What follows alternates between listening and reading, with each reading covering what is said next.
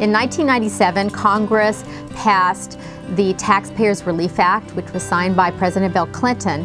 And what this allowed is that individuals on their primary residence if you had lived in the home for two out of the last five years, you would have an exclusion of $250,000 and then you could move to a new residence. Now, if you're a couple, you would have a $500,000 exclusion.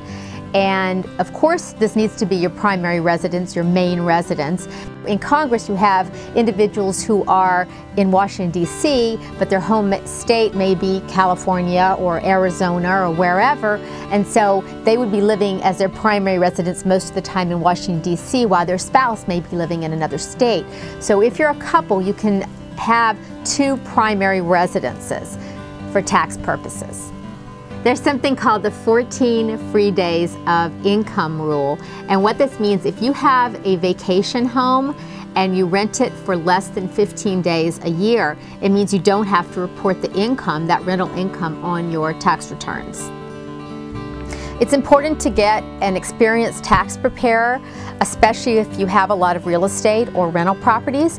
The tax code in the U.S. is 3,000 pages long and there's an additional 42,000 pages of rules, regulations, and court decisions. Money Magazine does an experiment every single year and what they do is they choose 50 tax preparers and they asked these individuals to prepare the taxes for a hypothetical family.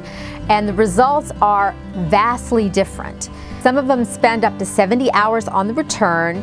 They charged between $450 and $2,500 and the accuracy did not correlate with the amount charged. But it just shows the importance of choosing your tax preparer wisely because it can save you a lot of money in the long run, especially when you have a lot of real estate. Always seek tax advice from a tax professional and legal advice from an attorney.